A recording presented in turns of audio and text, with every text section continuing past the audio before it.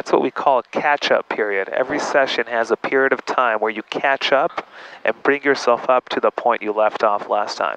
The longer time has a that elapsed between your previous session to now, the longer time it will take you to complete that catch up period to come up to par to where you left off last time, which is why frequency and consistency ultimately is the best thing ever because the catch up periods are short each time you show up. Make right. sense? Yeah.